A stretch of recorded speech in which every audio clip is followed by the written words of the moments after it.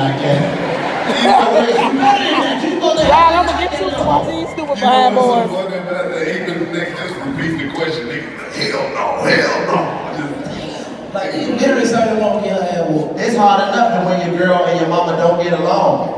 Cause when she, she come over to the house and the mama disrespectful, she can be saying little shit to make you mad that you can't say nothing about. Oh boy, I wish I had a son that made better decisions. But you know, she, she don't call, but you know, I mean, he do what he wanna do. I mean, you know, I, I don't know what to say. I, you know, the little girl always coming over here. I forget what the little name is.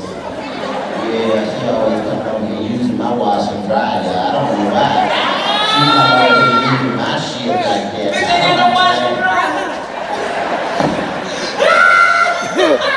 It's so stupid. I'm gonna go to church, so you know them conversations be over. Oh my God. Yeah, so you said your son got married? Ooh, Lord, congratulations!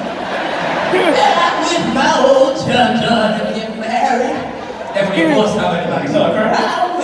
Old lady behave like I hope he don't get married to that little one he messing with now. You talk about that little, that, yeah, that's skank. Yes, that little one, that there. I remember when she used to, come to the right? She was about 14, 15 years old. I remember I came back there one day, I'm trying to get all the little kids up. I come back there, I get, I'm like, what the world? This little heifer is back there doing the nasty in the church. Shut your mouth. Yes, you did. Yes, you did. They're gonna come out here and attitude. We tell me mind my mother effing business. Yes, he did.